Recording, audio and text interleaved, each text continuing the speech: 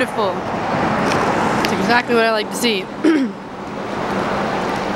so this place, unlike other places, are actually all organic. There's a lot of places that are vegan and claim to be organic, but um, oh my gosh.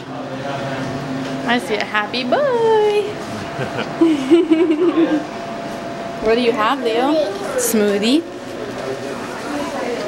It's organic. Mango and dragon fruit. Mmm. Super high vibration.